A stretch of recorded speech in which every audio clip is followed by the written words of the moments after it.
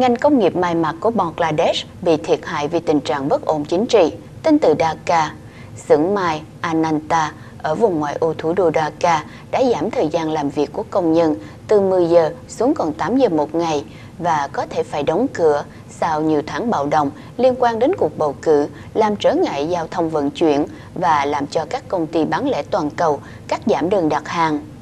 Theo kết quả cuộc bầu cử ngày Chủ nhật vừa qua, Liên minh Awami đã chiến thắng với trên 2 phần 3 số ghế trong Quốc hội. Nhưng Tổ chức Minh Bạch Quốc tế tuyên bố cuộc bầu cử trong ngày Chủ nhật hoàn toàn vi phạm nguyên tắc minh bạch, dân chủ và tự do, trong khi đảng đối lập BNP đã tẩy chay và gọi cuộc bầu cử này là một trò hề.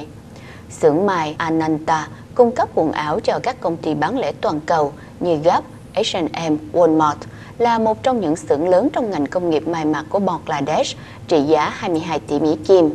Đơn đặt hàng đã bị giảm 50% trong 3 tháng qua, là sự suy giảm kỷ lục trong hai thập niên qua. Cước phí vận chuyển đã gia tăng mạnh vì tình trạng đường xá bị phong tỏa và những người biểu tình thường xuyên tấn công các xe vận tải. Giám đốc sản xuất của Ananta nói rằng tình trạng của công ty đang rất khó khăn. Công ty đã phải trả tiền vận chuyển cao hơn gấp 3 lần và đơn đặt hàng suy giảm nên buộc họ phải giảm mức sản xuất từng ngày. Các giới chức trong ngành công nghiệp may mặc nói rằng tranh chấp giữa các đảng phái trong nước tạo thiệt hại cho ngành may mặc nhiều hơn so với vụ xưởng may Khana Plaza bị sập trong tháng 4 năm ngoái, làm cho trên 1.100 công nhân bị thiệt mạng.